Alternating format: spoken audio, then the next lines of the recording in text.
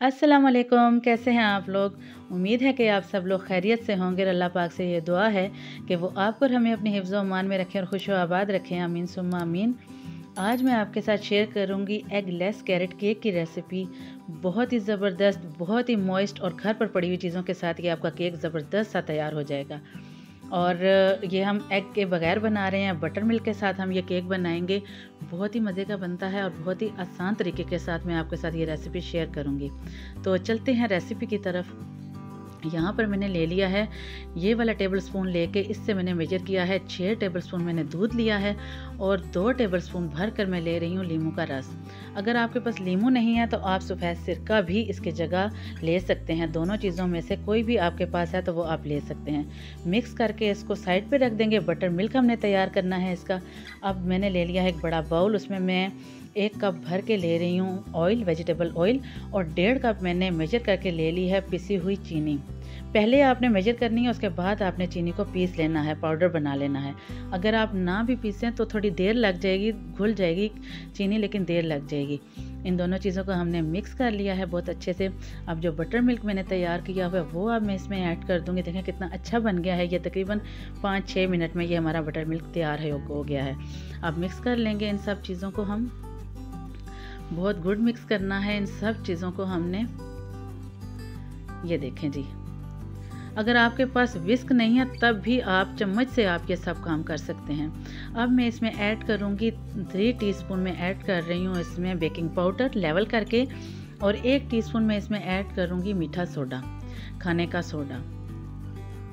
ये इसमें ऐड करके तो बहुत अच्छी तरह से हमने फिर इनको मिक्स करना है पहले। बहुत अच्छे से हम मिक्स करेंगे। ये देखें, कोई इलेक्ट्रिक बीटर की आपको ज़रूरत नहीं है। थोड़ा सा मैं वनीला एसेंस ऐड कर रही हूँ ताकि इससे बहुत ही अच्छा सा अरोमा आता है वनीला से। अगर आप ना डालना चाहें तो ज़रूरी नहीं है, आप स्किप कर सकते हैं इसको। ये देखें, बहुत ही अच्छा सा ये मिक्स हमारा तैयार हो गया है। अब मैं इसमें ऐड करूँगी दो कप लेवल मैंने लिया है मैदा। बहुत अच्छी तरह से छान के वो अब इसमें मिक्स करेंगे हम बहुत अच्छी तरह से। ये देखें। अब यहाँ पर इस स्टेज पे आके मैंने थ्री टेबल स्पून और दूध लिया है। वो इसमें मिक्स किया है। बहुत अच्छी तरह से मिक्स कर लेंगे। ये देखें, ये बैटर अब हमारा तैयार है। आपको थोड़ा थिक नज़र आ रहा है, लेकिन जो गाजरें हम इसमें ऐड करेंगे, उसमें भी मॉइस्चर होता है तो ये सेटल हो जाएगा। और यहाँ पर मैंने एक कप ले लिए हैं बादाम और अखरोट कट करके। अगर आपके पास बादाम नहीं है तो अखरोट कर लें। अखरोट नहीं है तो बादाम कर लें। या कोई भी, जैसे भी आपको ड्राई फ्रूट पसंद है, आप कोई से भी इसमें ऐड कर सकते हैं एक कप भर के। और ये मैंने ले ली हैं, तीन कप मैंने ली हैं क्रश गाजरें और मैंने बहुत अच्छा इनको मोटी तरफ़ से ना मैंने इनको क्रश किया। ये आप देखिएगा कि मोटा मोटा हम इसको क्रश करेंगे, बहुत बारीक नहीं करेंगे, वरना ये नज़र नहीं आएँगे। बहुत ही लच्छेदार ये हमारी गाजरें जो हैं मोटी मोटी मैंने क्रश की हैं। अब इनको मैं अच्छी तरह से स्पैचुला के साथ कर लूँगी मिक्स।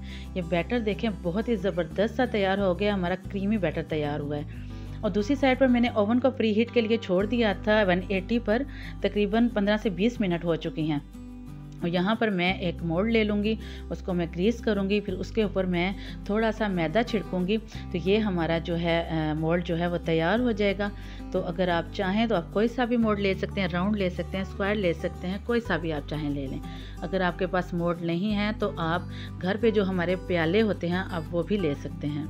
और कुकर में आप बेक करें, कढ़ाई में बेक करें, बहुत आसानी के साथ ये केक तैयार हो जाएगा। अगर आप कुकर या कढ़ाई में कर रहे हैं तो मीडियम आपने आँच रखनी है। थोड़ा सा झटकेंगे इसको ताकि एयर इसकी निकल जाए। आप इसको बेकिंग के लिए छोड़ देंगे। तकरीबन 30 से 35 मिनट में ये हमारा केक बनकर तैयार हो जाएगा और आप अपने ओवन के टेम्परेचर के हिसाब से आप देख लीजिएगा कि आपके ओवन का टेम्परेचर कैसा है। तो यहाँ पर जी, ये देखें 35 मिनट में ये हमारा केक बनकर बिल्कुल तैयार है, बहुत स्पॉन्जी और मोस्ट मोइस्ट हमारा केक तैयार है। बहुत ही इसके अंदर बहुत ज़बरदस्त अरोमा आ रहा है, खुशबू बहुत अच्छी आ रही है। ये देखें, अब मैं इसको जो है मोल्ड से निकाल रही हूँ, गर्म है अभी, लेकिन आपने बिल्कुल ठंडा करना है इसको। फिर ही आपने निकालना है। मुझे निकालते हुए थोड़ी सी मुझे इसमें थोड़ा केक टूट गया है, मुश्किल हुई है मुझे तो आपने ज़रूर ठंडा करना है। मुझे आपको दिखाना था, मेरे पास टाइम कम था तो मैंने ये काम किया है। और यहाँ पर मैंने ली है क्रीम, ये ऑप्शनल है। क्रीम मैंने, जो टेबल क्रीम होती है टट्रा पैक की, वो मैंने ली है। इसमें दो टेबल स्पून मैंने पिसी हुई चीनी शामिल की है और मैं इसके ऊपर ये डाल रही हूँ। और डेकोरेशन कर रही हूँ मैं इसके ऊपर अखरोट और बादाम के साथ। ये बिल्कुल ऑप्शनल है, आप अगर ना चाहें, आपके पास नहीं है तो वैसे ही ये केक बहुत ही मज़े का है। आप चाय के साथ खाएँ, आप खाने के बाद डिज़र्ट के तौर पर ये केक जो है रख सकते हैं साइड पे। बहुत ही मज़े का बनता है, बहुत ही मॉइस्ट केक बनता है। अलग अलग आपको हर चीज़ का इसमें मज़ा आएगा। और मैं कट करके आपको दिखाती हूँ। कि इसका अंदर से कितना अच्छा टेक्सचर आया है। बहुत ही आसान रेसिपी मैंने आपके साथ शेयर की है और बहुत कम चीज़ों के साथ, घर पर पड़ी हुई चीज़ों के साथ आप ये केक जल्दी से तैयार कर लेंगे। और ये देखें जी, कट किया है मैंने। देखें इसका अंदर से टेक्सचर कितना ही खूबसूरत आया है। बहुत ही खूबसूरत ये केक बनता है। जितना ये देखने में खूबसूरत है, उतना ही ये खाने में मज़े का है और उतना ही ये बनाने में आसान है। बहुत ही ज़बरदस्त रेसिपी मैंने आपके साथ शेयर की है। और अगर मेरी रेसिपी आपको पसंद आए तो लाइक और शेयर ज़रूर करें और मुझे सपोर्ट करें, मुझे सब्सक्राइब करें मेरे चैनल को। और बस यही दुआ है कि अगर अल्लाह ताला ने चाहा, ज़िंदगी और सेहत ने साथ दिया तो अगली वीडियो में मुलाकात होगी। दुआ में याद रखें, अपना और अपने प्यारों का ढेर सारा ख्याल रखें। अल्लाह हाफिज़।